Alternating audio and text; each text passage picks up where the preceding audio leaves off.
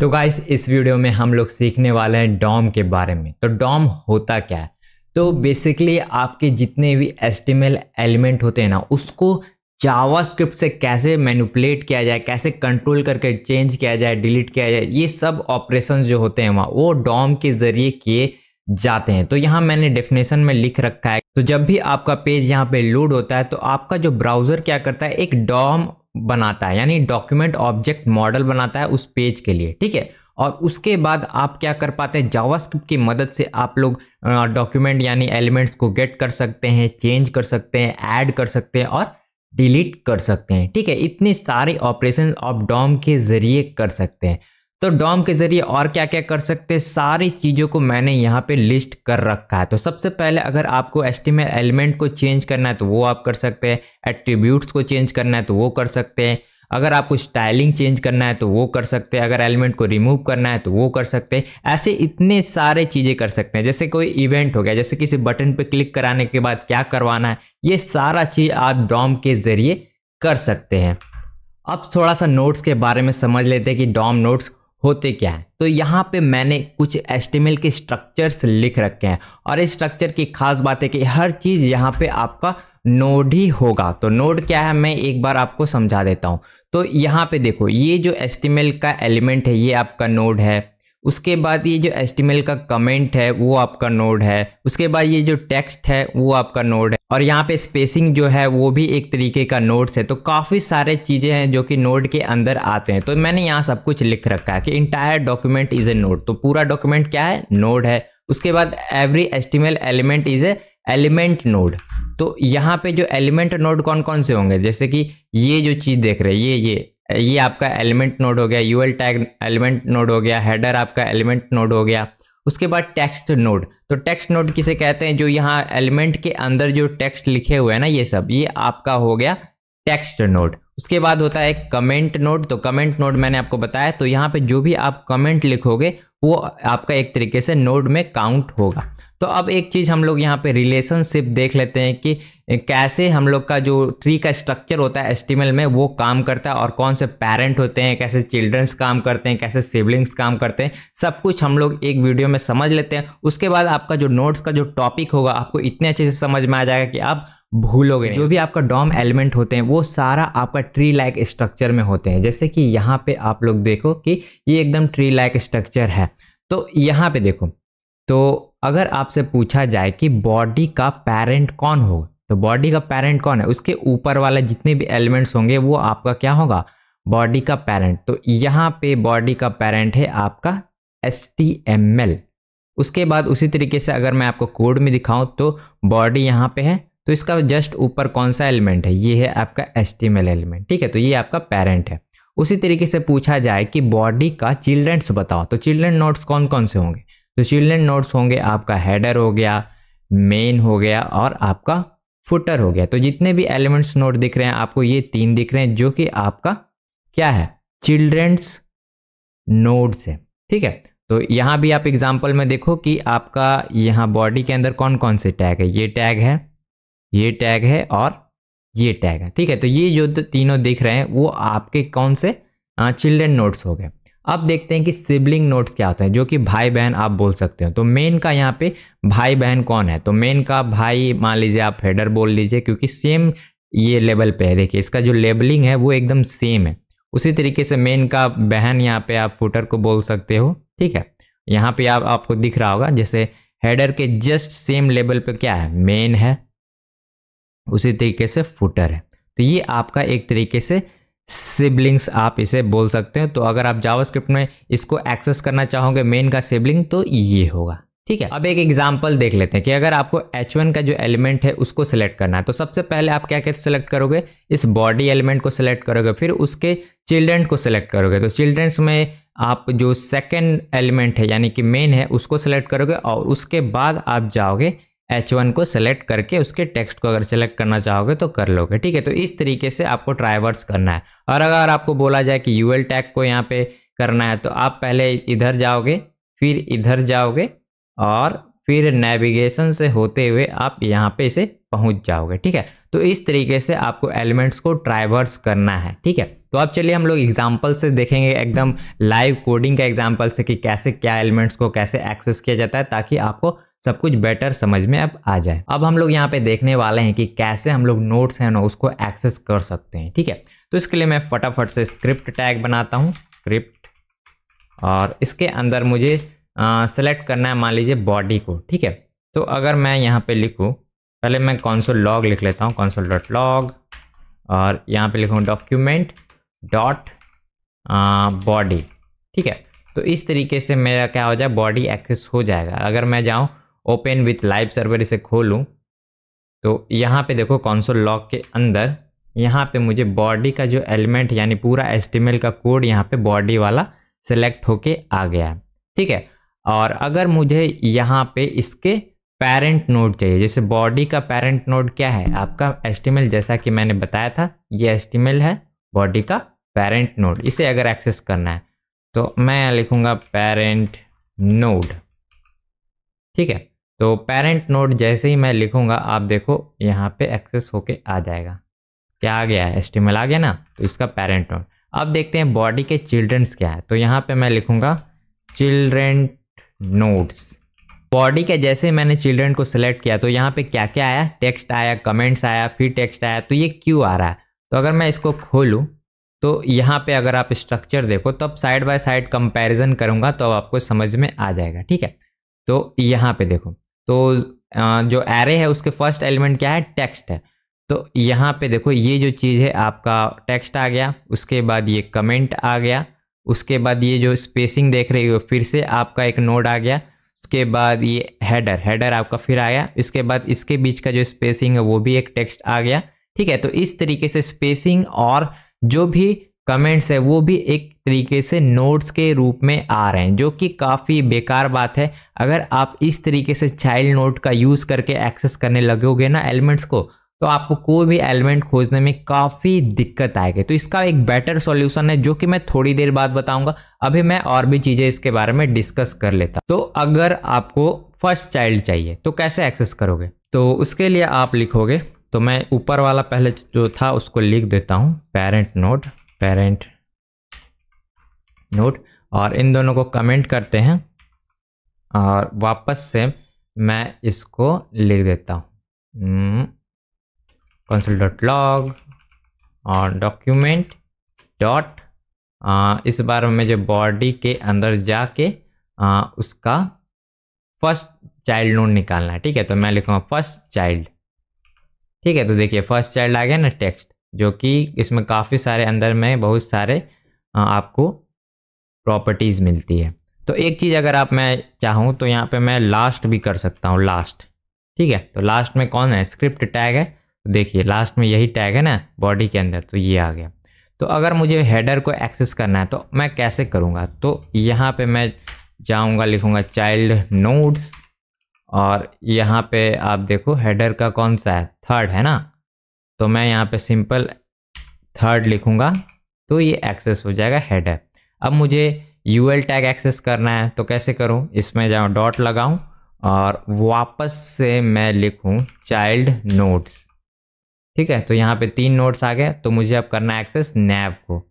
तो नैब को एक्सेस करने के लिए मैं वन लिख देता हूँ. ठीक है नैब हो गया. अब मुझे करना है यूएल को तो यूएल करने के लिए मैं सिंपल वही लिखूँगा चाइल्ड नोट्स और यहाँ देखते हैं तो चाइल्ड नोड आ गया और यहाँ पे यूएल को सेलेक्ट करना पड़ेगा, ठीक है? तो आपने देखा मुझे एक यूएल को सेलेक्ट करने के लिए कितना लंबा लिखना पड़ेगा इतना लंबा लिखने से तो कितना ही दिमाग खराब होगा। इसलिए चाइल्ड नोट्स का जो अप्रोच है, वो एकदम ही बेकार है। इससे क्या अच्छा अप्रोच है, वो मैं आपको धीरे धीरे बताऊँगा ताकि आपको अच्छे से समझ में आए, ठीक है? गाइस पिछले एग्जांपल्स में दिक्कत क्या था कि आपको नोड्स को एक्सेस करना पड़ा था, ठीक है? तो नोड को एक्सेस करने के वजह से दिक्कत क्या आ रही थी कि आपका टेक्स्ट और कमेंट भी आ जा रहा था। इस वजह से आपको जो भी यहाँ पे सिंटेक्स लिखना पड़ा था, जैसे कि आपको यहाँ पे ऑब्जेक्ट्स में से अपना जो भी एलिमेंट्स निकालना था, जैसे हेडर निकालना था तो कुछ ऐसा आपको लिखना पड़ा था। तो इस तरीके को थोड़ा छोटा किया जा सकता है और इससे इफ़िशियंट तरीका को यूज़ किया जा सकता है, ठीक है? तो वो कौन सा तरीका है? तो वो सिंपल आप लोग डायरेक्टली जो भी एलिमेंट्स नोड है, जैसे कि हेडर हो गया मेन हो गया, उसे डायरेक्टली आप लोग गेन कर सकते हैं, ठीक है? तो मैं यहाँ पे आपको साइड बाय साइड लिख के दिखाता हूँ, तब आपको समझ में आ जाएगा, ठीक है? तो ये लाइन ऑफ़ कोड को कॉपी करते हैं और नीचे ला के यहाँ पे सिंपल लिखेंगे चिल्ड्रेन। तो चिल्ड्रेन क्या करता है? आपका बेसिकली जो भी एलिमेंट नोड है, उसको ही एक्सेस करता है। देखिए, यहाँ पे आपका टेक्स्ट और जो कमेंट है, वो यहाँ पे नहीं है। ठीक है तो इस तरीके से आपको इजीली होगा। तो अगर मुझे एक्सेस करना है यहाँ पे हेडर का नैप तो मैं सिंपल यहाँ पे लिखूँगा हेडर मतलब कौन सा? फ़र्स्ट एलिमेंट है। तो यहाँ पे मैं लिखूँगा फ़र्स्ट एलिमेंट चाइल्ड ठीक है तो यहाँ पे देखिए हेडर एक्सेस हो गया। और उसका फ़र्स्ट एलिमेंट क्या है? नैप तो इसके लिखेंगे फ़र्स्ट एलिमेंट चाइल्ड उसके बाद यहाँ पे फ़र्स्ट एलिमेंट चाइल्ड तो मेरे यहाँ पे देखिए यूएल हो गया है। यूएल हुआ oh sorry first element child होगा। तो यहाँ पे आ गया यूएल टैग ठीक है? तो देखिए कितना आसानी से मैंने यूएल टैग को एक्सेस कर लिया। यहाँ पे मुझे देखना पड़ा था कि कौन सा नंबरिंग पे कौन सा चीज़ सेव है। तो यहाँ पे वैसा दिक्कत नहीं आए, ठीक है? तो यहाँ पे ऐसा भी कर सकते हैं।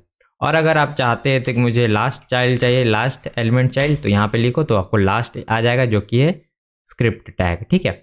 और एक चीज़ मैं आपको और दिखा देता हूँ कि इसके सिबलिंग्स में निकालना काफ़ी आसान है। जैसे कि अगर मुझे मेन का सिबलिंग चाहिए तो फ़र्स्ट मेन का जो पहले वाला सिबलिंग कौन है? हेडर तो हेडर चाहिए। तो उसके लिए पहले तो मैं मेन को सिलेक्ट करूँगा, ठीक है? तो पहले मेन को सिलेक्ट कर लेते हैं। तो मैं लिखूँगा चिल्ड्रेन और चिल्ड्रेन में ये कितने नंबर पर है? एक, दो, ठीक है? तो यहाँ पे मैं सिंपल वन लिखूँगा तो यहाँ पे मेन आ गया। अब मुझे चाहिए हेडर हेडर सेलेक्ट करना इसके ज़रिए, इसका सिबलिंग तो मैं सिंपल लिखूँगा नेक्स्ट एलिमेंट सिबलिंग तो यहाँ पे फुटर आ गया। तो नेक्स्ट वाला कौन होगा? जैसे कि ये फ़र्स्ट है तो उसके बाद नेक्स्ट ये होगा। तो प्रीवियस आपका कौन सा होगा? ये।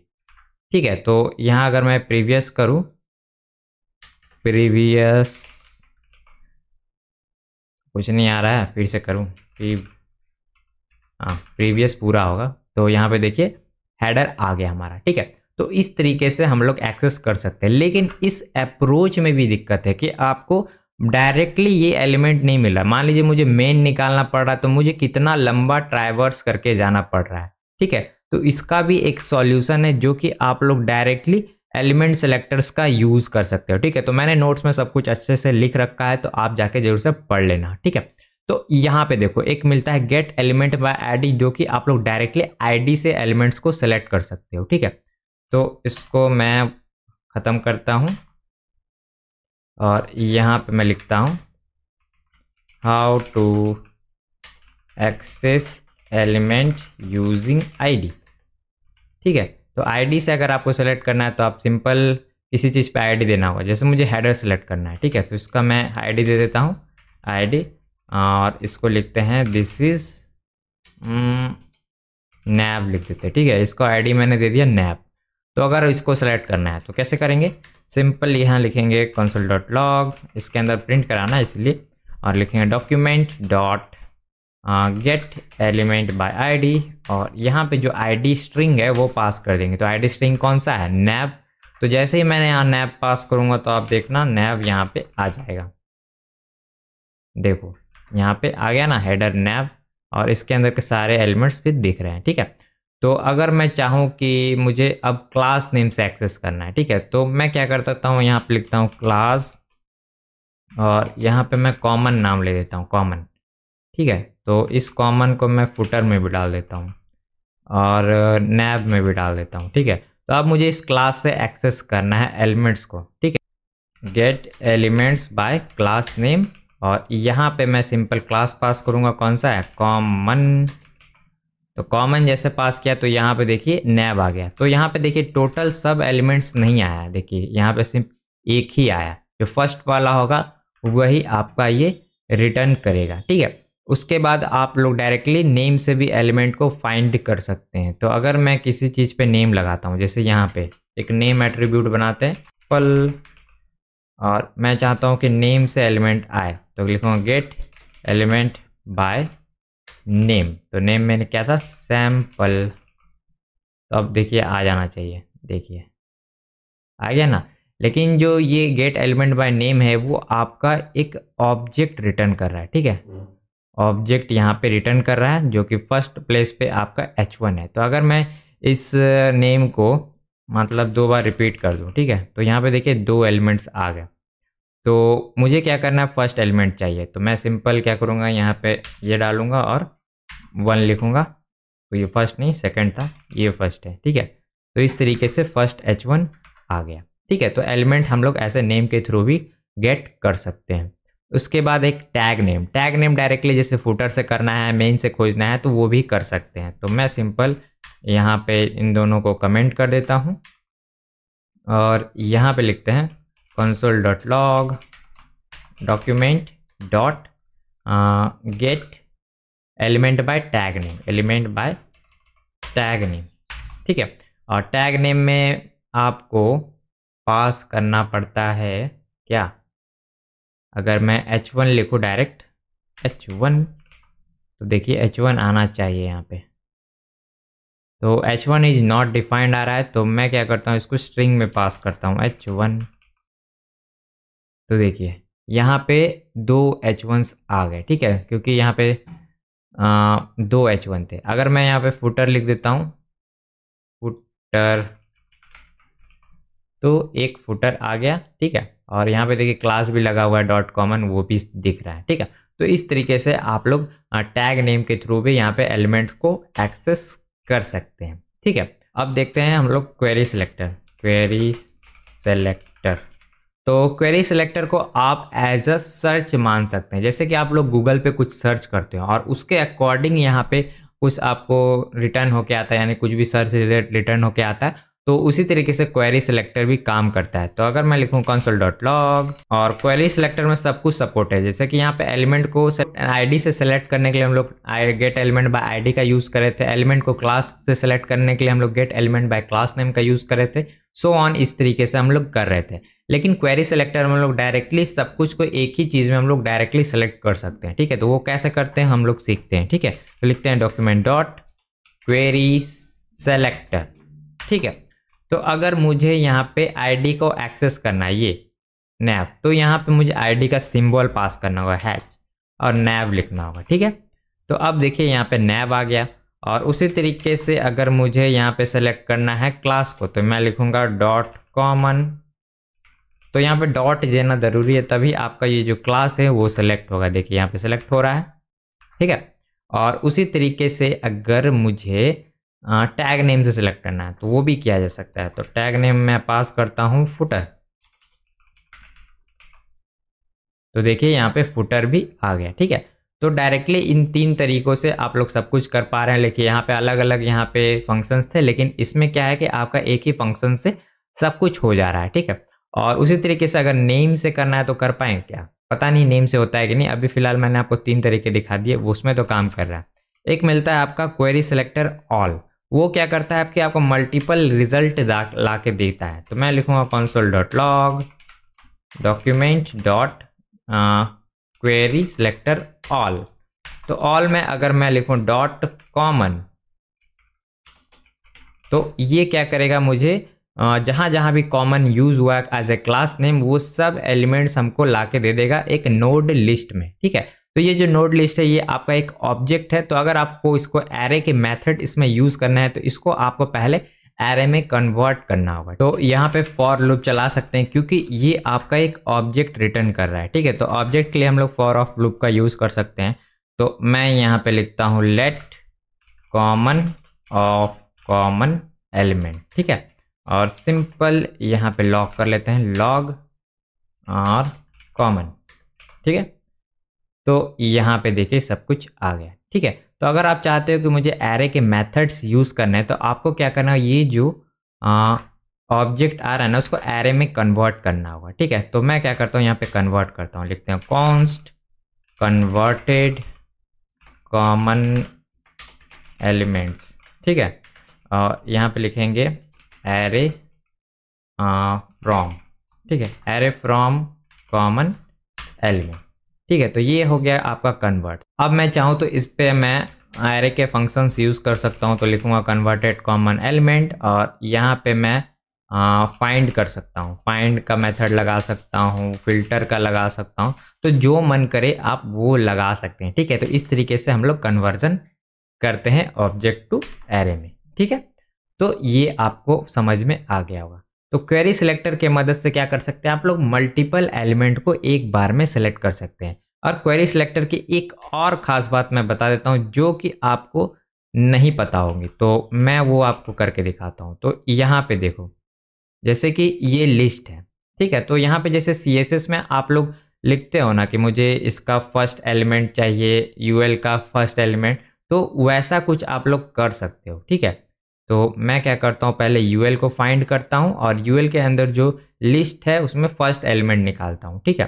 तो उसके लिए मैं सिंपल लिखूँगा ट्वेल्व यू टैग में आ गए उसके बाद इससे छोटा एलिमेंट में आ गए और यहाँ पे लिस्ट और फ़र्स्ट चाइल्ड ठीक है? अब देखते हैं कौनसल लॉग में क्या आ रहा है। तो इसको लॉग करना पड़ेगा ना।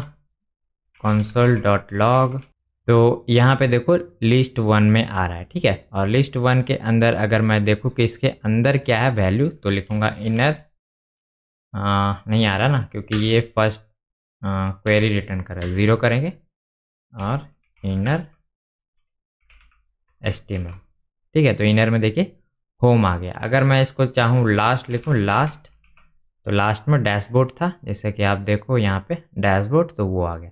तो बेसिकली जो सीएसएस के अंदर आप लोग क्वेरीज लिख सकते हैं ना, यहाँ पे आप लोग एग्जैक्ट वैसा ही पास कर सकते हैं, ठीक है? तो इससे आपको वो समझ में आ गया होगा। तो अब हम लोग देखते हैं कि एट्रीब्यूट्स हम लोग कैसे वैल्यूज़ उसका निकाल सकते हैं, ठीक है? तो यहाँ पे देखो, एक हेडर है और इस पे एक एट्रीब्यूट क्या है? आईडी तो आईडी के अंदर जो नैव है, उसका वैल्यू मुझे चाहिए, ठीक है? तो वो कैसे निकलेगा? तो सिंपल मैं सेलेक्ट कर लूँगा एलिमेंट तो लिखूँगा कॉन्स्ट एट्रीब्यूट वैल्यू और यहाँ पे मैं लिखूँगा document dot get element by ID और यहाँ पे पास करूँगा नैब ठीक है तो नैब आप देखो, यहाँ पे था। तो यहाँ पे मैं सिंपल इसका आईडी चाहता हूँ। तो यहाँ पे मैं चेनिंग कर दूँगा और लिखूँगा गेट एट्रीब्यूट और एट्रीब्यूट में मैं पास करूँगा आईडी ठीक है तो आईडी के अंदर क्या सेव था आपका नैब तो देखिए यहाँ पे नैब रिटर्न होना चाहिए। तो इसको कौनसोल लॉग कर लेते हैं। कौनसोल डॉट लॉग एट्रीब्यूट तो यहाँ पे देखिए नैब आ रहा है। तो उसी तरीके से एक मैं और एट्रीब्यूट इस पर लगाता हूँ। यहाँ पे मैं लिखता हूँ स्टाइल और स्टाइल में मैं स्टोर कर देता हूँ बैकग्राउंड कलर रेड ठीक है? ये मैंने स्टोर किया और यहाँ पे मैं लिखूँगा स्टाइल तो देखिए यहाँ पे आ गया ना इसका वैल्यू इसके अंदर जो भी स्टोर था वो आ गया। तो इस तरीके से हम लोग वैल्यूज़ निकाल सकते हैं एट्रीब्यूट के अंदर से। अब देखते हैं कि इसमें से हम लोग कैसे आ, सेट कर सकते हैं। तो ये तो सेट नहीं था अब मैं आपको सेट करके दिखाता हूँ। तो सिंपल इसी को मैं यूज़ करता हूँ और यहाँ पे मैं करता हूँ सेट तो सेट एट्रीब्यूट और सेट एट्रीब्यूट में मैं लिखूँगा स्ट्रिंग तो स्ट्रिंग का नाम लिखना होगा पहले और उसके बाद वैल्यू तो यहाँ पे मैं सेट करूँगा डेटा डैश रैंडम ठीक है? और यहाँ पे वैल्यू में फाइव पास कर दूँगा. ठीक है? तो इसमें एक रैंडम वैल्यू वाला एट्रीब्यूट जाके सेव हो गया होगा. तो इसको चेक करने के लिए सिंपल इसके, मैं इसको थोड़ा इधर कर देता हूँ डेवलपर्स टूल को और सिंपल इसको इस पर क्लिक करता हूँ. ठीक है? तो यहाँ पे आप देखो एस का जो स्ट्रक्चर है, उसमें एक एट्रीब्यूट यहाँ पे ऐड हो गया। देखिए रैंडम डेटा करके, ठीक है? इस तरीके से।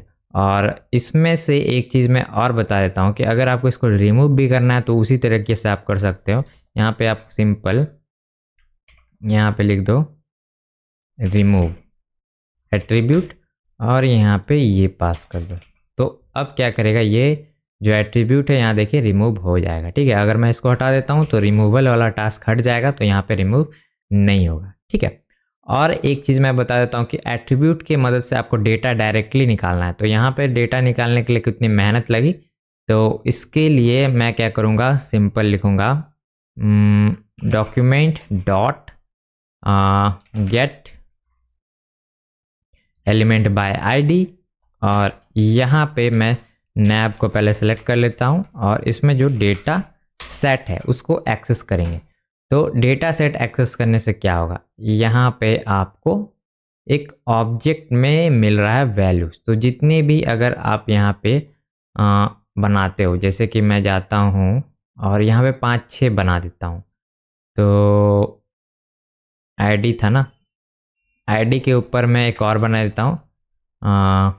डेटा न्यू न्यू में, मैं स्टोर कर देता हूँ। कोडिंग ठीक है? और अब देखते हैं क्या आएगा। तो यहाँ पे देखिए दो आ रहा है। तो इसको एक्सेस करना है अगर मुझे रैंडम को तो मैं यहाँ लिखूँगा रैंडम ठीक है? तो अब देखिए फाइव आ गया। और अगर मुझे एक्सेस करना है न्यू को तो इसको एक्सेस ऐसे किया जाएगा, ठीक है? देखिए, ऐसे हो गया। और एक चीज़ मैं बता देता हूँ कि जब भी आप अपना खुद का यहाँ पे एट्रीब्यूट बनाओ तो आपको लिखना है डेटा डैश न्यू ठीक है? तो ये ऐसा इसलिए करना है क्योंकि फ्यूचर में अगर जावास्क्रिप्ट में कुछ भी चेंजेस आता है, अगर मान लीजिए आपने न्यू कीवर्ड का बना दिया तो फ्यूचर में जावास्क्रिप्ट में भी अगर न्यू नाम का कुछ आ गया तो आपका कोड ब्रेक हो जाएगा। इस वजह से आपको कुछ ऐसा सिंटेक्स फॉलो करना है जो कि जावास्क्रिप्ट के डॉक्यूमेंटेशन में भी लिखा हुआ कि आपको डेटा डैश न्यू करके एट्रीब्यूट्स को बनाना है, ठीक है? तो गाइस हम लोग यहाँ पे ऑपरेशंस देखेंगे जो कि हम लोग नोट के ऊपर परफॉर्म कर सकते हैं। अगर हमें कुछ नया एलिमेंट क्रिएट करना है तो हम लोग यूज़ कर सकते हैं फ़ंक्शन क्रिएट एलिमेंट का। जहाँ पे हम लोग डिव लिखेंगे तो यहाँ पे डिव क्रिएट होगा। और जहाँ भी चाहे हम उसे अटैच कर सकते हैं अपेंड मेथड का यूज़ करके प्रिपेंड ये सब के ज़रिए हम लोग कर सकते हैं। उसके बाद यहाँ पे एक रिप्लेस होता है, जो कि आपका एग्जिस्टिंग जो भी एलिमेंट है, उसको हटा के उससे रिप्लेस कर देता है, ठीक है? और ये सब चीज़ों के बारे में भी हम लोग इस सेक्शन में पढ़ेंगे, ठीक है?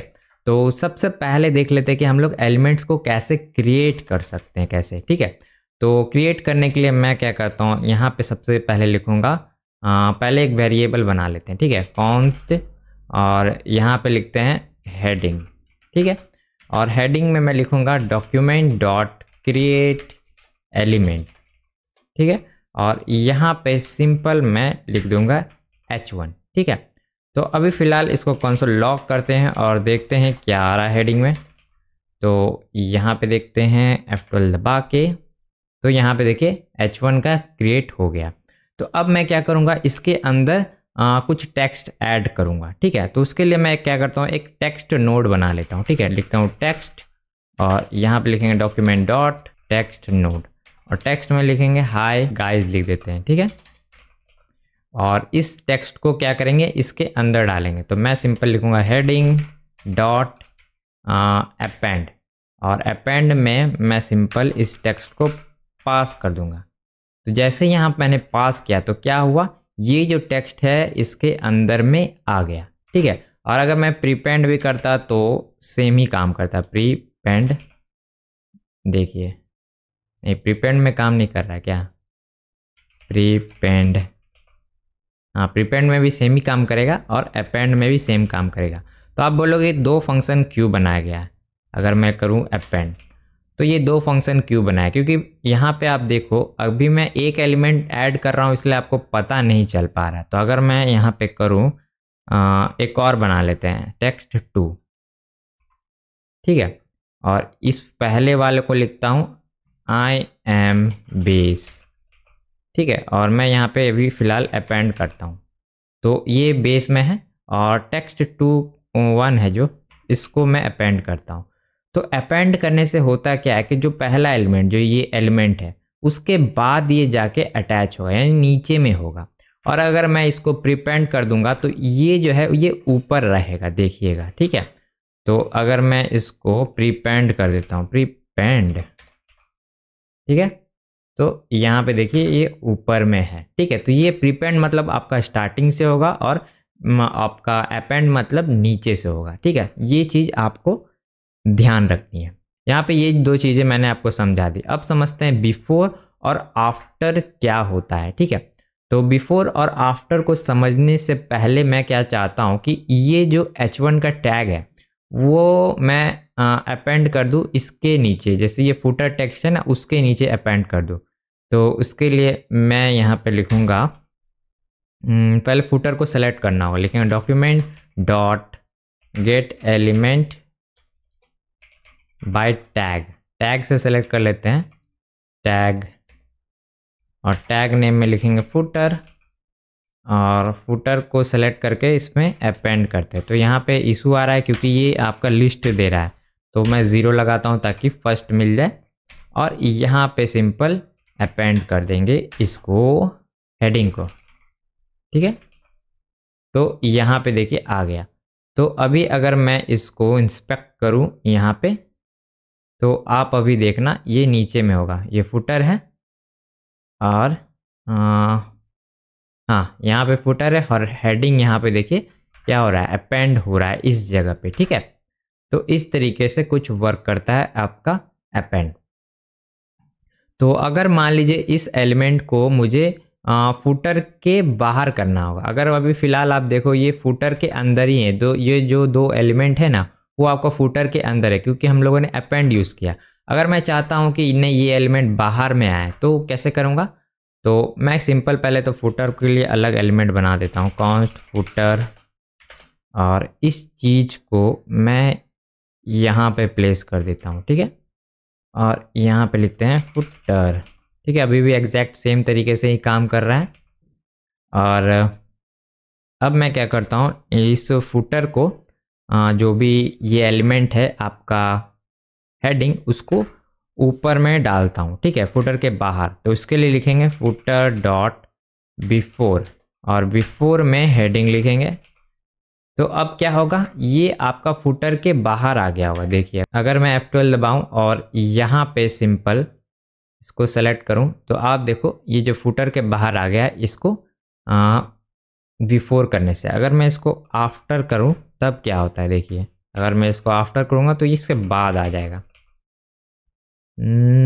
देखिए, बाद आ गया फुटर का तो आफ्टर करने से ये होता है। अब देखते हैं कि रिप्लेस मेथड कैसे वर्क करता है। अगर मुझे किसी एलिमेंट को रिप्लेस करना है तो कैसे करूँगा? तो फुटर डॉट रिप्लेस चाइल्ड ठीक है? तो मुझे चाइल्ड को यहाँ पे रिप्लेस करना है, ठीक है? तो ये जो चाइल्ड आप देख रहे हो, ये टेक्स्ट इसको मुझे रिप्लेस करना है न्यूअर टेक्स्ट है तो मैं लिखूँगा कॉन्स्ट न्यू फुटर टेक्स्ट ठीक है? और यहाँ पे मैं लिखूँगा दिस इज़ न्यू टेक्स्ट ठीक है? और यहाँ पे सिंपल मैं लिख दूँगा न्यू फुटर टेक्स्ट तो यहाँ पे कुछ भी नहीं हो रहा है तो मैं लिखूँगा रिप्लेस विथ होगा। अब ठीक है, देखिए रिप्लेस विथ किया मैंने तो यहाँ पे ये क्या हो गया? रिप्लेस हो गया। तो अगर आपको दो चाइल्ड से रिप्लेस करना है तो अब आप रिप्लेस चाइल्ड ये सब का यूज़ कर सकते हैं।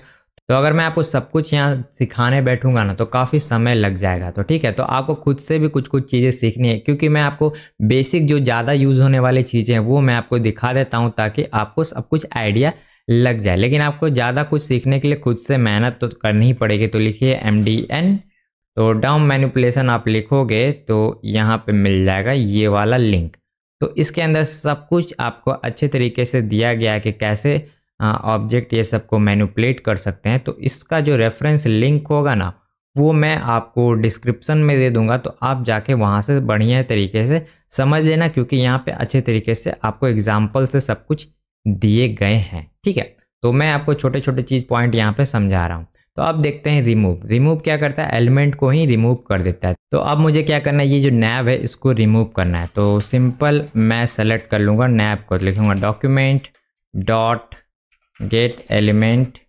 by tag name और यहाँ पे सिंपल लिखेंगे। टैग का नाम नैब और एलिमेंट सेलेक्ट कर लेंगे ज़ीरो और यहाँ पे लिखेंगे रिमूव जो जैसे ही मैंने रिमूव लिखा तो आपने देखा ना यहाँ पे रिमूव हो गया। ठीक है? अब देखते हैं एलिमेंट्स के ऊपर से हम लोग क्लास ये सब कैसे रिमूव कर सकते हैं। ठीक है? तो एग्ज़ाम्पल के लिए ये जो लिस्ट आप देख रहे हैं ना, इसके ऊपर मैं एक क्लास मैं बनाता हूँ, ठीक है? और इसमें मैं लिखता हूँ क्लास और लिखता हूँ एक्टिव ठीक है?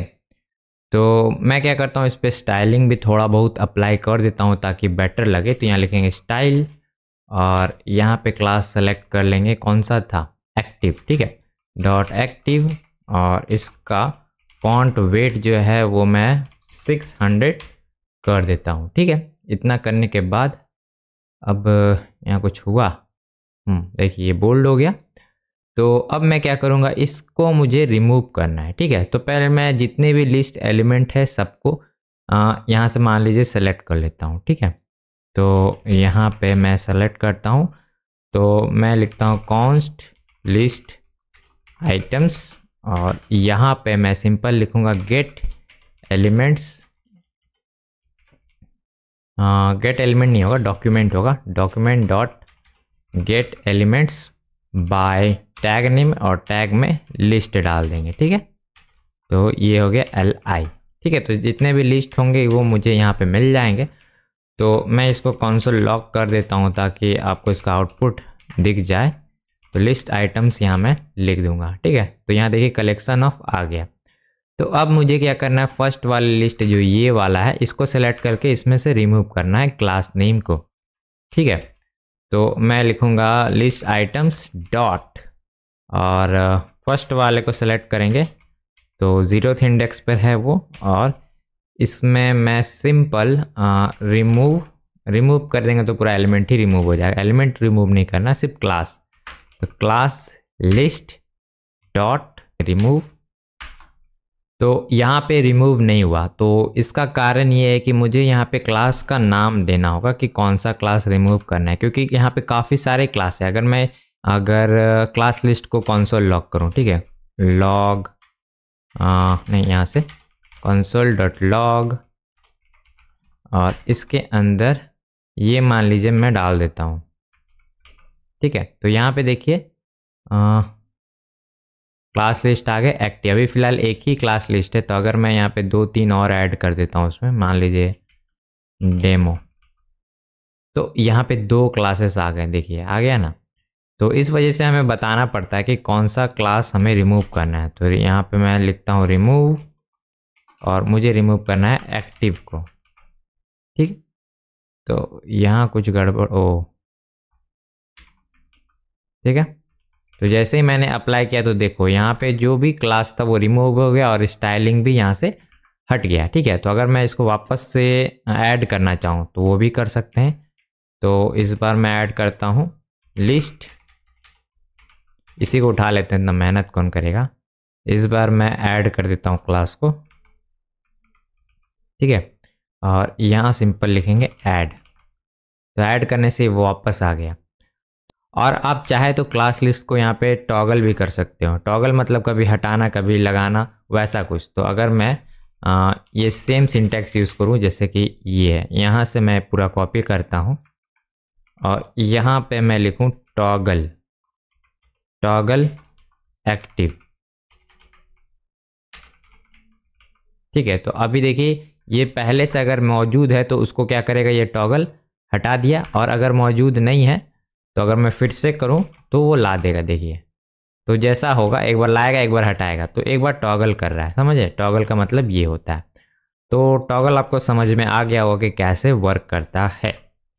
तो ये बेसिक आपके क्लास को रिमूव और हटाने के मेथड्स। लास्ट में एक चीज़ और देख लेते हैं, जो कि है आपका इनर एस्टिमेल और आउटर एस्टिमल। तो अगर आपको बहुत सारा एस्टिमल का कोड एक साथ किसी एलिमेंट में डालना है तो आप कैसे करोगे? तो मैं क्या करता हूँ, यहाँ पे एक कोड बना लेता हूँ।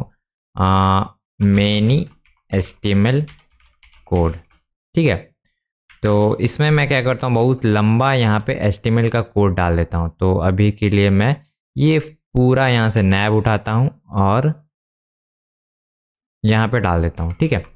तो इस बार मुझे कहाँ पे इसे डालना है तो मैं क्या करूँगा, एलिमेंट सेलेक्ट करूँगा।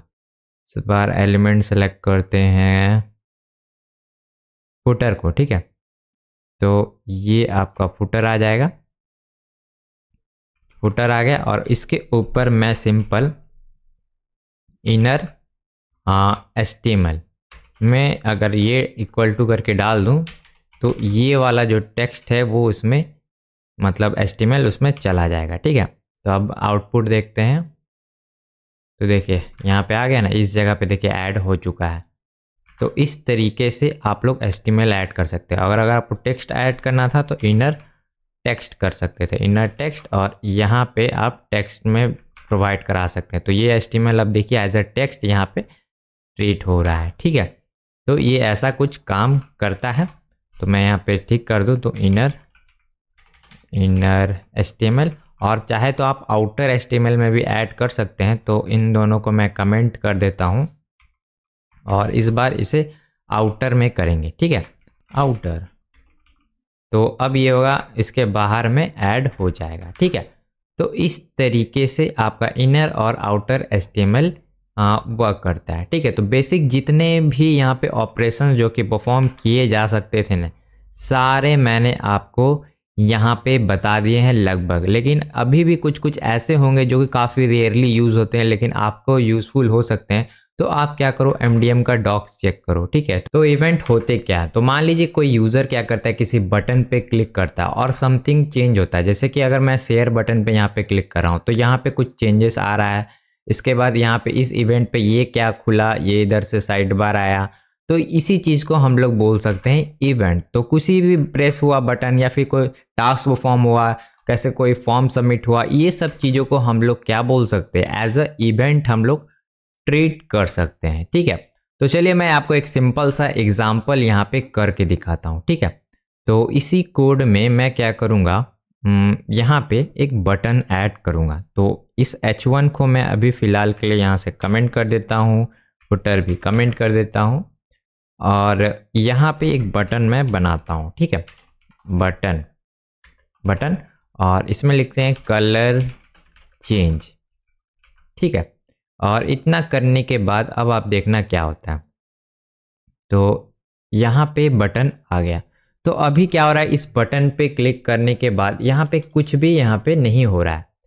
तो इसको कैसे फिक्स करेंगे? पहले तो मैं इस कोड को भी हटा देता हूँ, इसकी ज़रूरत नहीं है तो इसको भी कमेंट करते हैं। तो मुझे क्या करना है कि इस बटन पे क्लिक होने के बाद यहाँ पे कुछ प्रिंट हो तो उसके लिए क्या करेंगे? इस बटन पे जाएँगे। और यहाँ पे हम लोग इवेंट लगा सकते हैं। तो इस बटन पे गए और यहाँ पे सिंपल आपको टाइप करना है ऑन तो ऑन आप जैसे लिखोगे तो ये जो देख रहे हो ना इवेंट्स आ गए। जैसे ऑन लिखा मैंने तो ये सब चीज़ें आप देख रहे हैं ना, ये सब चीज़ आपका इवेंट्स है। तो इवेंट क्या क्या हो सकते हैं? जैसे कि कोई बटन पे क्लिक किया, या फिर बटन को ड्रैग किया इधर उधर हिलाया, फिर इनपुट किया, ये सब चीज़ें अलग अलग कॉम मतलब एलिमेंट्स के ऊपर अलग अलग तरीके से काम करती है। ठीक है तो वो सब हम लोग देखने वाले हैं। तो सिंपल अभी ऑन क्लिक देख लेते हैं, जो कि सबसे बेसिक है। तो इन चीज़ों को रटने की ज़रूरत नहीं है। जैसे जैसे आपको जो ज़रूरत पड़ेगा, आप गूगल करना सर्च करना और अप्लाई कर देना। तो फ़िलहाल हमें सिर्फ़ क्लिक इवेंट की ज़रूरत है तो हम लोग क्लिक परफॉर्म करेंगे। और क्लिक पर एक मैं फ़ंक्शन कॉल करना चाहता हूँ और इस फ़ंक्शन का नाम मैं रखूँगा अलर्ट मी ठीक है अलर्ट मी फ़ंक्शन का नाम है। ठीक है और अब देखते हैं इस फ़ंक्शन को मैं नीचे बनाता हूँ यहाँ पे, ठीक है? और इसका मैं लिखूँगा सिंपल फ़ंक्शन अलर्ट मी ठीक है? ये बन गया। और सिंपल जो अलर्ट वाला जो मिलता है ना फ़ंक्शन उसको अंदर मैं क्या करूँगा? यहाँ पे मैसेज टाइप कर दूँगा। यू आर डूइंग रॉन्ग ठीक है, बस ये मैं मैसेज चाहता हूँ। तो अब देखिए इस बटन पे जैसे मैं क्लिक करूँगा तो यहाँ पे आ रहा है यू आर डूइंग रॉन्ग ठीक है? यू आर डूइंग रॉन्ग तो ये अलर्ट यहाँ पे ट्रिगर हो रहा है। तो बेसिकली ये जो बटन आप देख रहे हो ना, इस पे ऑन क्लिक मेथड पे क्या हो रहा है, ये वाला जो फ़ंक्शन है, वो ट्रिगर हो रहा है। तो ये एक तरीका है। और इसका एक और तरीका है, जो कि हम लोग यूज़ कर सकते हैं, वो है इवेंट लिसनर का यूज़ करके। ठीक है? तो यहाँ पे मैं क्या करता हूँ, लिखता हूँ ऐड इवेंट लिस्नर तो ये जो ऐड इवेंट लिस्टर कब काम करेगा? जब आप किसी एलिमेंट को सेलेक्ट करोगे, तब काम करेगा। ऐसे डायरेक्टली आप करना चाहोगे तो ये काम नहीं करेगा। तो इसके लिए मैं क्या करता हूँ बटन एलिमेंट को एक आईडी दे देता हूँ, ठीक है? तो इसका नाम लिखते हैं आईडी और इसमें लिखते हैं चेंज कलर ठीक है? इसका ये आईडी है। और इसको मैं चेंज कलर आईडी ये सही नहीं है। चेंज बी टी एन रखते हैं ठीक है ये आईडी ठीक है। तो अब इस आईडी से इस बटन को हम लोग सेलेक्ट कर लेते हैं और इस कोड को अभी फ़िलहाल के लिए मैं हटा देता हूँ ठीक है। और यहाँ पे मैं लिखता हूँ const change B T N element ठीक है। और इस पे मैं आ, करता हूँ document dot get element by ID और यहाँ पे बटन को सेलेक्ट कर लेते हैं। ठीक है? तो ये क्या करेगा? एक बटन सेलेक्ट करके दे देगा। अब मैं क्या करता हूँ? एक फ़ंक्शन इस पर ऐड करना चाहता हूँ। ठीक है? तो चेंज बटन एलिमेंट और उसमें मिलता है ऐड इवेंट लिसनर ठीक है? और यहाँ पे आपको फ़ंक्शन मिलेगा। तो फ़ंक्शन के अंदर फ़ंक्शन आपको यहाँ पे को पास करना हो जैसे कि मैप मेथड था फॉर ईच लूप था उसके अंदर आपने कॉल बैक फ़ंक्शन लिया था ना तो वैसा ही यहाँ पर भी कॉल बैक फ़ंक्शन आपको यूज़ करना है, ठीक है? ऐसा कुछ। और कॉल बैक फ़ंक्शन के अंदर आपको उससे पहले इवेंट पास करना है। कौन सा इवेंट है? तो मैं पहले पास करूँगा क्लिक इवेंट है ना? क्लिक और मैं क्या करता हूँ इसका एक कॉपी बना लेता हूँ ताकि रेफरेंस आपके पास रह जाए। और इसमें से ये क्लिक हटा देता हूँ, ठीक है? तो अभी आप देखो इस क्लिक पे वापस से कुछ भी नहीं होने लगा। तो मैं क्या करना चाहता हूँ, सेम चीज़ इसमें भी परफॉर्म करना चाहता हूँ तो बस ये जो अलर्ट वाला चीज़ है, अब मैं यहाँ पे डाल देता हूँ, ठीक है? अब ट्राई करते हैं, देखिए सेम हो रहा है। तो पिछले केस में क्या था कि हमें जा, जाके यहाँ पे अप्लाई करना पड़ा था और एस के अंदर कोड को चेंज करना पड़ा था। लेकिन वो जो तरीका था, वो काफ़ी आसान था, आपने देखा। और इस तरीके में आपको जाके करना पड़ रहा है, ठीक है? और ये जो फ़ंक्शन देख रहे हैं ना, अंदर वाला, इसमें आपको इवेंट मिलता है। अगर मैं इवेंट लिखूँ यहाँ पे इवेंट और इसको लॉग करते हैं कि इसमें क्या है तो यहाँ लिखते हैं कंसोल डॉट लॉग और इवेंट अब इसको देखते हैं क्या है। तो इवेंट में काफ़ी सारे चीज़ें जैसे कि पॉइंटर का लोकेशन कहाँ है बबल्स बटन बहुत सारे चीज़ें यहाँ पे देखिए। एक स्क्रीन का विथ हाइट सब कुछ यहाँ पे इवेंट के अंदर है। ठीक है तो इवेंट की ज़रूरत पड़ती है जैसे जैसे आप इसका यूज़ कर सकते हैं। तो बेसिकली अगर आपको इनपुट में से एलिमेंट मतलब वैल्यू निकालना है, तब आप इवेंट्स का यूज़ कर सकते हो। तो मैं क्या करता हूँ, एक कलर चेंजिंग वाला यहाँ पे एग्ज़ाम्पल जो मैंने यहाँ पे लिख रखा है, इसको अप्लाई करता हूँ। ठीक है तो एक फ़ंक्शन है रैंडम नंबर जनरेट करने का इससे मैं यहाँ पे पेस्ट करता हूँ। और सिंपल यहाँ पे हम लोग स्टाइलिंग भी कर सकते हैं बॉडी का। तो सिंपल ये कोड यहाँ पे डालूँगा तो अब देखना यहाँ पे होगा रैंडम नंबर मतलब कलर जनरेट होगा, ठीक है? इसके इवेंट पे। तो यहाँ पे और भी इवेंट्स है, आपको एक्सप्लोर करना है। तो बेसिक वाला इवेंट लिस्नर मैंने आपको बता दिया कि कैसे करना है। अब एक चीज़ बेसिक डिटेल जो कि मैं आपको बताना चाहता हूँ। जैसे कि ये एनोनिमस फ़ंक्शन आप यहाँ लिख रहे हो ना, इसको आप अलग से कहीं और भी लिख सकते हो। ज़रूरी नहीं कि उसके अंदर ही लिखे। तो यहाँ पे लिख रहे हैं फॉर चेंजिंग फ़ंक्शन बनाते हैं। फ़ंक्शन फॉर चेंजिंग कलर्स, ठीक है?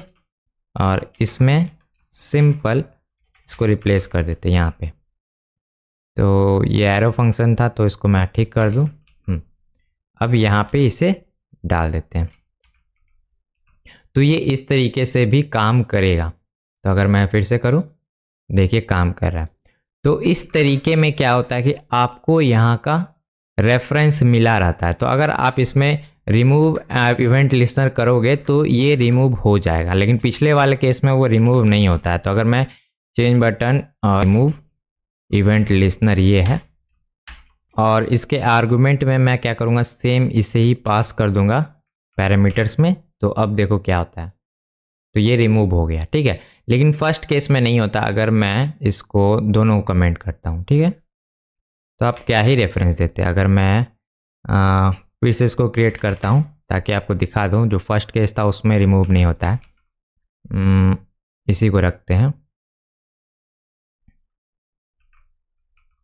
ठीक है?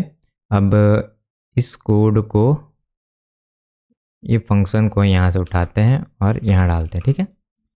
और इसको यहाँ डालते हैं और लिखते हैं रिमूव तो अब आप देखना ये रिमूव नहीं होगा, देखिए, नहीं ना हो रहा क्योंकि ये जो एनोनिमस फ़ंक्शन है ना, वो आपका मेमोरी में अलग अलग जगह पे स्टोर होता है। ये कहीं और स्टोर होगा, ये कहीं और स्टोर होगा। लेकिन पिछले केस में क्या था कि ये जो फ़ंक्शन है मेमोरी में एक जगह पे स्टोर था और हम लोगों ने क्या किया, इसको जाके दोनों को एक साथ रिमूव और डिलीट कर दिया, ठीक है? तो इस तरीके से ये वर्क करता है। तो अगर आपको कहीं इवेंट लिस्नर को कहीं रिमूव करना है तो आपको फ़ंक्शन को सेपरेट रखना होगा, ठीक है? ये चीज़ आपको ध्यान रखनी है ठीक है? और लास्ट में एक चीज़ मैं आपको बता देता हूँ कि जैसे कि आपको ये जो इवेंट मिल रहा है ना अगर आप चाहते हो कि आ, बटन का आपको रेफरेंस मिल जाए जैसे कि इस केस में था ठीक है? अगर मैं यहाँ पे लूँ और बटन का रेफरेंस चाहिए तो उसके लिए क्या करेंगे? तो मैं वापस से इस कोड को कमेंट करता हूँ और इस कोड को ऑन करता हूँ ठीक है? तो यहाँ पे अगर आप दिस पास करोगे दिस ठीक है? तो यहाँ पे आपका बटन का रेफरेंस मिल जाएगा, ठीक है? तो यहाँ पे मैं लेता हूँ ई e और लॉग करता हूँ, ठीक है? Log E e। तो आपको देखना यहाँ पे क्या मिलता है। यहाँ पे फ़िलहाल दो बटन है। तो ई e में यहाँ पे कुछ भी नहीं आया, लेकिन यहाँ पे देखो रेफरेंस यहाँ पे प्रिंट होके आ गया, यानी सेम बटन आ गया। तो इस बटन के ऊपर से अगर आपको आईडी चाहिए होता तो आप निकाल सकते थे, ठीक है? तो अगर मैं लिखो ई डॉट आई तो आईडी कैसे लेते हैं? एलिमेंट्स के ऊपर से तो E dot attribute attribute get attribute करते हैं, ठीक है? गेट एट्रीब्यूट और यहाँ पे सिंपल आईडी लिखते हैं, ठीक है? अब फिर से क्लिक करते हैं। तो देखिए आईडी मुझे निकल के यहाँ पे आ गया। ठीक है तो इस तरीके से दिस का यहाँ पे फ़ंक्शन काम करता है। तो गाइस मैं आपको दो क्वेश्चन प्रोवाइड करा रहा हूँ जो कि आपको डॉम के लिए सॉल्व करने हैं। ठीक है तो आपको क्या करना है? मेरा गिटहब का अकाउंट खोलना है और मैं लिंक भेज दूँगा आपको डिस्क्रिप्शन में। आप सिंपल उसे ओपन करना और यहाँ पे सबसे पहले आपको गिटहब का पेज दिखेगा। तो आप देख के यहाँ पे कंफ्यूज हो जाओगे। तो सिंपल अपने कीबोर्ड पे डॉट दबाना। डॉट दबाने से क्या होगा कि ये जो पेज है ना, वो आपका कन्वर्ट हो जाएगा। लेकिन ये कन्वर्ट इसलिए नहीं हो रहा क्योंकि मैंने यहाँ पे साइन इन नहीं किया है। तो सबसे पहले आपको गिटहब का अकाउंट बनाना है और यहाँ पे साइन इन करना है। तो यहाँ पे मेरा user name already sign in है यहाँ पे दिख रहा है। तो आपको क्या करना है? सिंपल इस रेपो में जाना है और इस सबसे पहले तो एक स्टार देना है। स्टार देने से हेल्प होती है। आप बस स्टार दे दो, मुझे बहुत अच्छा लगता है। ठीक है? उसके बाद आपको कीबोर्ड में डॉट दबाना है। इस बार मैं लॉग इन हूँ तो यहाँ पे मेरा, यहाँ पे वी एस कोड इस गिटअप के प्रोफ़ाइल में खुल जाएगा। देखिए, खुल रहा है ना? तो थोड़ा सा वेट करना पड़ सकता है। उसके बाद आप क्या करो? यहाँ से आप प्रोजेक्ट्स को उठा सकते हो। जो अभी मैं यहाँ पे क्वेश्चंस दूँगा, आपको यहाँ पे मिल जाएँगे। तो अभी आपको ये क्वेश्चंस यहाँ पे नहीं दिख रहे हैं क्योंकि इसको मुझे पुश करना होगा। ठीक है तो मैं क्वेश्चंस को भेज देता हूँ वहाँ पे। क्वेश्चंस एडेड तो ये सारे क्वेश्चंस अब यहाँ पे ऐड हो जाएँगे। तो मैं इसको रिफ्रेश एक बार करता हूँ। तो अब यहाँ पे देखिए क्वेश्चंस आ गए ठीक है? तो फ़र्स्ट क्वेश्चन में आपको करने क्या है? तो उसके बारे में थोड़ा सा देख लेते हैं, ठीक है? तो इसको मैं थोड़ा मिनिमाइज कर दूँ। तो फ़र्स्ट में आपको करना सिंपल ये जो यूआरएल है उसको जावा के थ्रू इसको चेंज करके इस यूआरएल में डालना है। Basically H T T P do some coding dot com लिखा हुआ आना चाहिए इस यूआरएल को, ठीक है? बस इसको सिंपल रिप्लेस करना है, ठीक है? ये हो गया फ़र्स्ट क्वेश्चन दूसरे क्वेश्चन में आपको क्या करना है, वो मैं बता देता हूँ। तो कंट्रोल भी दबाते हैं और यहाँ पे देखिए ये।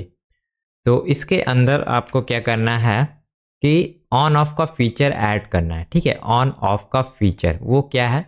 तो मैं इसको अगर रन करूँ तो अभी ये रन हो गया, इसको नहीं करना था, ये वाला। तो इसमें ऑन ऑफ़ का फीचर आना चाहिए। जैसे इस पर क्लिक करे तो यहाँ पे ऑफ़ दिखाए और क्लिक ना करे तो मतलब दोबारा से कोई क्लिक करे तो ऑन दिखाए, ठीक है? तो यहाँ पे मैंने सी एस एस उसके लिए ऐड कर रखा। बस आपको इस क्लासेस को टॉगल करना है। कैसे करोगे वो मैं आप पे छोड़ता हूँ, ठीक? तो ये दोनों क्वेश्चन आपको सॉल्व करना है।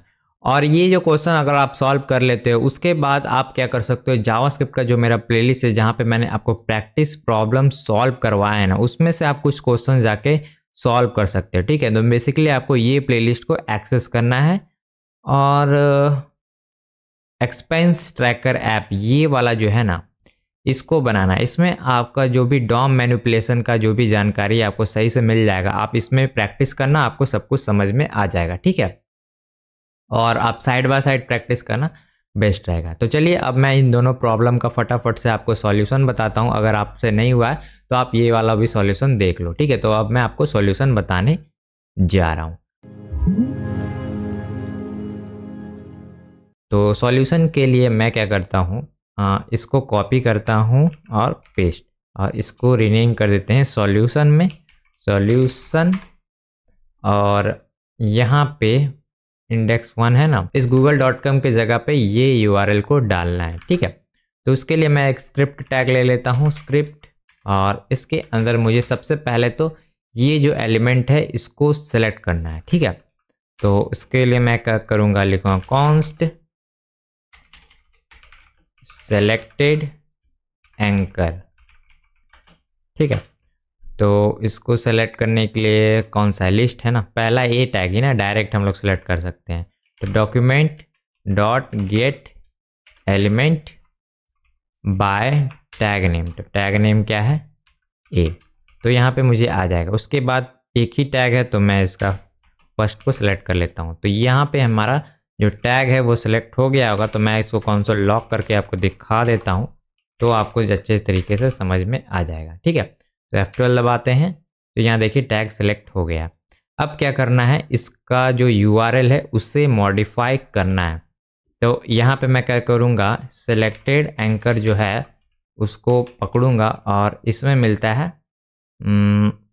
सेट एट्रीब्यूट ही होगा। ठीक है सेट एट्रीब्यूट और इसके अंदर आपका एट्रीब्यूट का नाम तो वो है एच आर ई एफ़ और यहाँ पे जो वैल्यू है मुझे ये पास करनी है, ठीक है?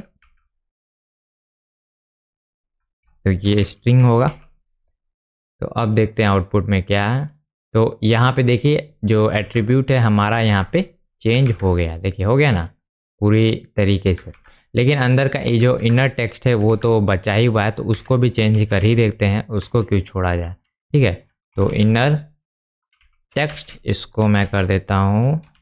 डू सम कोडिंग ठीक है? तो देखिए, ये कम्प्लीटली चेंज हो गया तो अगर मैं इस पर क्लिक करूँगा तो यहाँ पे ये वेबसाइट खुल जाएगा, जहाँ पे दिखाएगा कमिंग सुन ठीक है?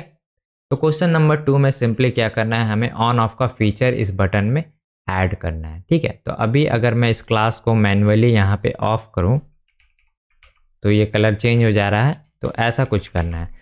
तो फटाफट से यहाँ पे स्क्रिप्ट टैग ऐड करेंगे। स्क्रिप्ट और पहले तो ये बटन को सिलेक्ट करेंगे, ठीक है? तो बटन पे मैं एक आईडी दे देता हूँ।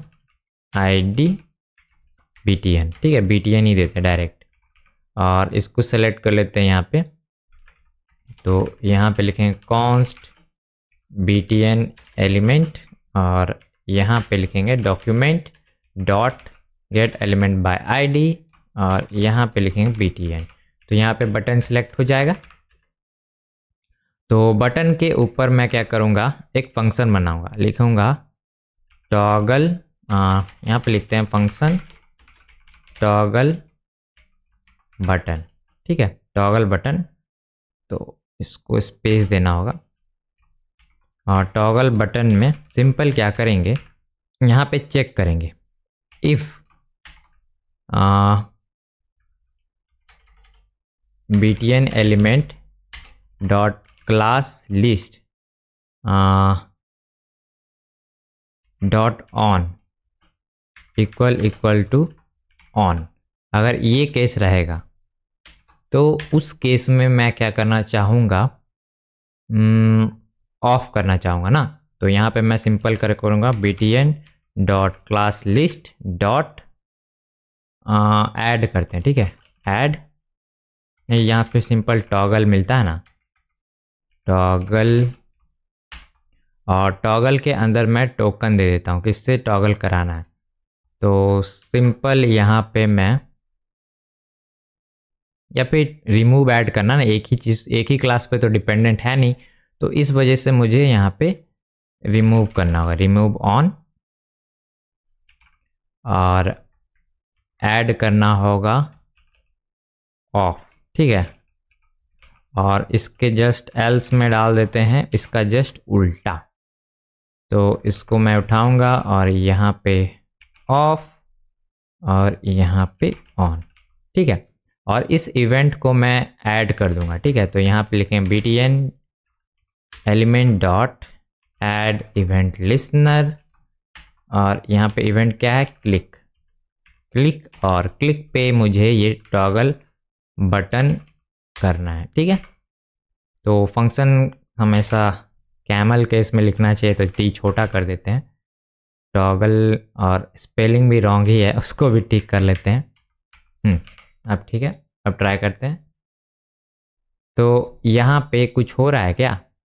नहीं हो रहा। है पहले चेक कर लेते हैं कि ये क्लिक भी हो रहा है कि नहीं तो यहाँ पे सिंपल लॉग कर लेते हैं। लॉग क्लिक ठीक है F12 दबाते हैं और चेक करते हैं कि ये क्लिक हो रहा है क्या? हाँ क्लिक तो वर्क कर रहा है, लेकिन ये टॉगल नहीं हो रहा है। तो यहाँ पे मैंने गलत ले लिया है, ठीक है, इस वजह से हो रहा है। बी नहीं होगा बी एलिमेंट है। अब ट्राई करते हैं। तो अभी भी नहीं हो रहा है।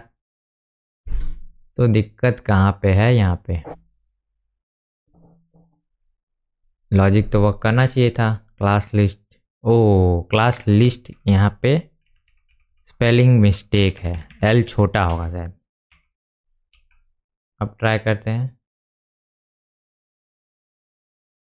तो अब ये काम कर रहा है, लेकिन इस बार बोल रहा है कि ऑन अनडिफाइंड है, यानी ऑन नहीं है। तो पहले चेक कर लेते कि यहाँ पे क्लास लिस्ट फैच हो रहा है कि नहीं। इसको मैं कभी फ़िलहाल कमेंट करता हूँ और देखते हैं कि गड़बड़ कहाँ पे है, ठीक है? तो कंसोल डॉट लॉग ये, ठीक है? तो क्लास लिस्ट आ भी रहा है कि नहीं?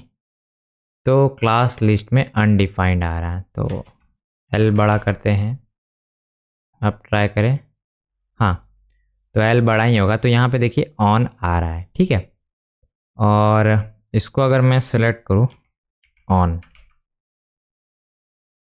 तो ये अनडिफाइंड तो यहाँ पे मैं एज ए ऑब्जेक्ट को जैसे नहीं होता है, की ट्रीट कर रहा था। तो यहाँ पे मुझे पता चल गया कि गड़बड़ क्या है। सिंपल मैं यहाँ पे इसका इंडेक्स यानी फ़र्स्ट में करता हूँ। अब ट्राई करते हैं। अभी भी वही आ रहा है कि नॉट ओ तो फिर से मैं इसका क्लास लिस्ट इम्प्रूव कर दूँ, क्योंकि एल बड़ा ही होता है। अब ट्राई करते हैं। हाँ अब फाइनली इतनी मेहनत के बाद काम किया लेकिन ये सिर्फ़ दोबारा से ऑन क्यों नहीं हो रहा है? ऑफ़ तो हो गया।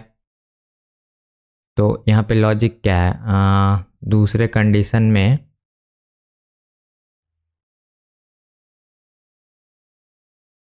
रिमूव ऑफ़ एक बार चेक कर लेते हैं।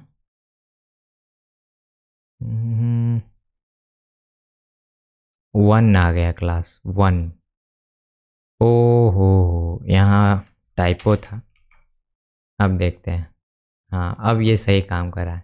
क्या बोले छोटा छोटा सा मिस्टेक होते रहता है। ठीक है तो अभी यहाँ पे टेक्स्ट चेंज नहीं हो रहा। टेक्स्ट को भी चेंज करना होगा। तो टेक्स्ट कैसे चेंज किया जाए? तो इसके लिए simple B T N dot inner inner S T M L में हम लोग सिंपल यहाँ पे लिख देंगे ऑफ़ और यहाँ पे लिख देंगे ऑन। तो अब ट्राई करते हैं off, on off on off on off, on. तो इस तरीके से हमारा ये प्रॉब्लम भी सॉल्व हो गया। तो होप से आपको ये वीडियो डॉम मैनुपुलेशन का एकदम बढ़िया से समझ में आ गया होगा। और जितना भी बेसिक था मैंने सब आपके साथ अच्छे से कवर कर दिया। अब आपके ऊपर डिपेंड है कि आप कितना प्रैक्टिस करते हो और कितना ग्रैप करते हो जब तक प्रैक्टिस नहीं करोगे, आप कितना भी चाहो, दूसरों से नहीं सीख पाओगे। पहले अपना खुद से प्रैक्टिस करो और जितना हो सके आप नए नए प्रोजेक्ट्स बनाओ छोटे छोटे प्रोजेक्ट्स बनाओ तो आप जावास्क्रिप्ट से अच्छे तरीके से फेमिलियर हो जाओगे। और इसी तरह के और भी कंटेंट देखने के लिए चैनल को ज़ोर से बने रहिए और चैनल को भी सब्सक्राइब करके रखिए। मैं मिलता हूँ आपसे नेक्स्ट वीडियो में, तब तक के लिए बाय